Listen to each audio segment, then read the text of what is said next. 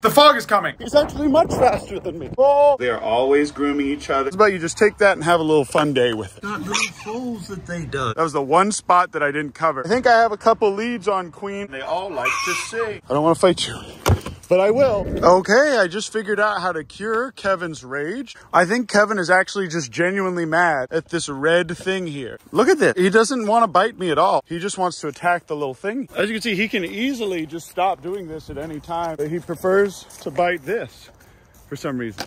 I'm just gonna let him run around with it. We did it, guys. We cured Kevin's aggression. And hopefully by giving them space everywhere on the property, they'll have grazing that's pretty good around the entire property. Look at those two crows. We have crows here, guys. Two little crow friends. I think Kevin just really doesn't like this. Well, hello, Kanye, my adorable little baby boy. I think he's the same thing. He thinks that there's gonna be food in here, so he runs right over to it. You see, they're not very smart at all. They just like the red. Look at these cringe nay-nay babies. 97 degrees today again, sadly. This little boy scream. Watch, now he's gonna run all the way over there. He's gonna get under that little tent. See, that's a little issue there. That was the one spot that I didn't cover. I give them their food, that makes them very happy. And then this little guy eats all the little things I spill. And yes, guys, we are gonna shear him eventually, but this isn't too much for him. It's really not that much wool. He doesn't necessarily need to be shaved. Now we have some nice, clean open enclosures just in case we get any other rescues. So we now have some vacant space. I don't know what to do with this. Part of me wants to throw it away. Part of me wants to try and restore it. These things aren't worth very much. But this is all my firewood. I left my little sawzall out here to cut this stuff up. Kevin's admiring our little birthday party venue here. This was our little redneck pool. We moved the trampoline out here because trampoline and concrete isn't a very good mixture. Speak of the dingus, there he is right there, scratching his little leg per usual. See, once the grass starts growing in, we're gonna have the capybaras out here. Look at this, you guys. Look how beautiful this is. We have a bus here with little with things inside, and all the grass is green again. Oh, look, a big rig in front of my home. All the ratite babies are developing super well. They're not fighting each other at all. And they have a lot of natural green grass in here, believe it or not now, so they can have a good mixture of both natural grass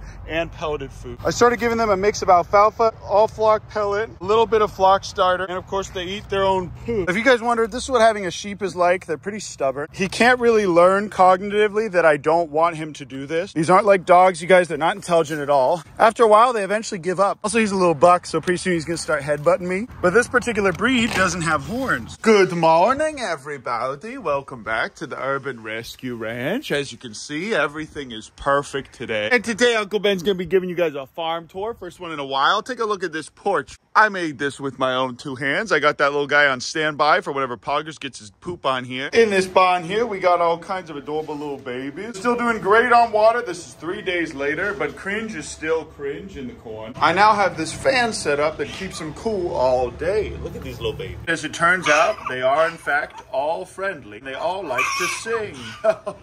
so this one here does bite just a tiny bit. Big ounce is perfect. This one is perfect. They don't really bite me at all for the most part. Cringe over here would bite me if given the chance. Good thing though is Cringe likes to play with the other guys. This is all just food for them and they like to dig in here. In fact, they actually have a few burrows. One is right under there. This is a much more natural, happy life for a little prairie dog baby boy. Them getting to dig and have fun in here and be with each other is perfect. They get all the food they need and it's a beautiful, beautiful setup for them. Somebody said, Uncle Ben, aren't you worried about Big Ounce reverting to being a wild, mean boy if he spends so much time with them? And the answer is no, I'm not worried about that at all. He's perfect. Look at him. The fog is coming. The fog is coming. The fog is coming. The fog. I ate Big Ounce live.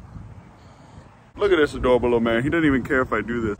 Oh, but I'm gonna go in here later and play with them at another time. But for now, I'm just gonna let these. Oh, goodbye. Doing great on water, and obviously they're doing well on food. I am gonna start supplementing their diet with some pellets. For now, I don't really think they need that super bad. These two are just love bugs. They are always grooming each other and kissing each other and cuddling each other. This is his wife for sure. Big Ounce finds a wife. You can see this is Big Ounce's wife. She is also very friendly and adorable. But these two are definitely a little couple, and I ship them. Had a slip and slide here the other night, so all this stuff has been watered real well. Poggers keeps escaping, a little cringe baby boy. Come on back in, son. I don't know how you're getting out, but you are, and it's annoying. But I love you, and you're welcome to stay here. If you leave this property again, I'm gonna poop on you. I went ahead and ordered one of those GPS trackers for these guys, those air tag things. I think I have a couple leads on Queen, but part of me thinks that somebody just kept her. And they may not have known to check the microchip or something like that. But look at this, you guys. This whole place has been cleared of all the weeds and all the nasty stuff. Now the dogs can't jump out of there, and the coyotes can't can't jump in real easy. Tank, our pool boy, left for the reserves and he didn't finish cleaning our pool. On the bright side, we have this pool now, which is perfect for the cappies to go for a big swim. The trampoline's out here and this makes excellent shade for DaBaby. The ducks just kind of free roam the whole property per usual. And Kevin free roams now as well. Per usual, he's a little too angry to understand that there's a fence here to get to me. But that's okay. Look how cute he is. He's an adorable little baby boy. You hanging out by the fire pit this morning, buddy? You having a little hammock sesh by the fire pit this morning, my little friend? My little handsome baby boy?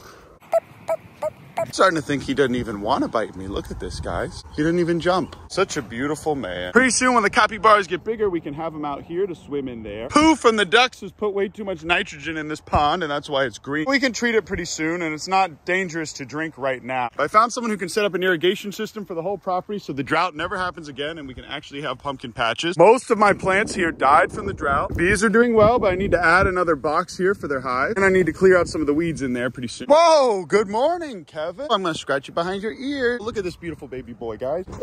Oh, can't catch me. Oh, he can catch me. He's actually much faster than me. Okay, I did not know that. I had no idea how fast these guys can run. I had no idea how fast Kevin was. Look at this. Oh my gosh, he can easily catch up to me. Easily. I need to go on Google and see how fast they can run. I don't want to fight you. I love you. I don't want to fight you. But I will.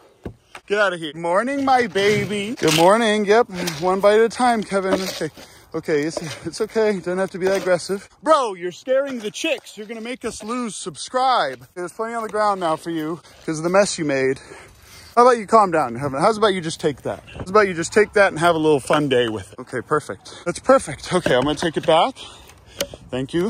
Okay, I'm gonna get one more scoop for these guys. Okay.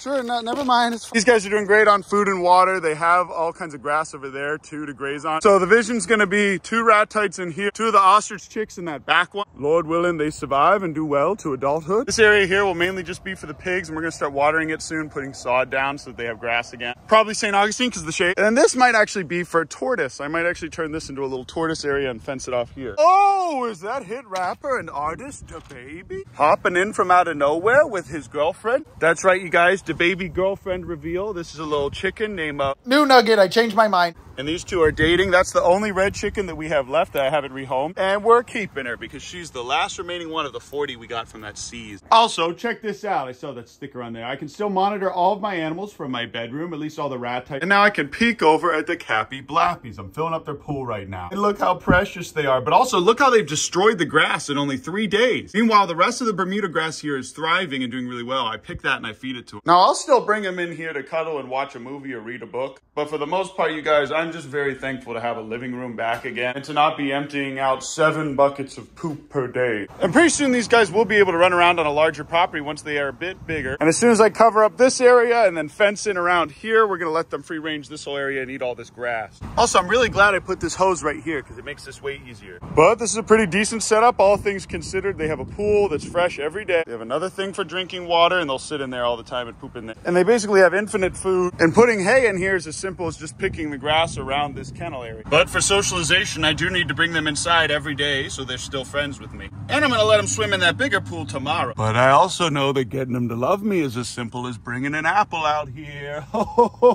Isn't that right, Quandale? The so-called free thinkers when an apple appears. But I really like being able to keep an eye on them from my bedroom and it's pretty nice now because the weather is good and I can easily go ahead and fence this off and then they just double their grazing area. Well, well, well, well, well. Look who's just vibing in the pool. Look how they just be vibing in there. I saw them roll around earlier. It was the cutest little thing. The ratites are thriving now. I have them on a much better diet and they eat all that natural grass back there. And Nathaniel B is officially bigger than Carrot. Pretty soon these guys are just gonna skyrocket over all the other ones. Oh, a little poop there. And when that happens, these guys are gonna be a lot bigger, probably triple the size of Karen. But maybe not Homelander because of his curled toe. Here comes Kevin. Look how happy this man is to be free ranging again. And the prairie dogs are all sleeping, except for Cringe, who's in the corner per usual. But look at this, you guys. They got little holes that they dug. They made little holes with multiple little entry and exit ways. You see that? Under this pile of hay, they actually have multiple entrances right there, right there, and right there. And we basically just simulated a natural little den for them. And Big Al sits at the top and protects them. But Cringe is still just a little bit too cringe for my liking. That's it though, guys. Thanks so much for watching my video. Gotta go to church. Love you, appreciate you, and I'll see you in the... Oh, I almost forgot to tell... Oh, and they just love each other. See, this is better than them being in the living room, even though they don't have as much space. For now, they will have more space very, very soon.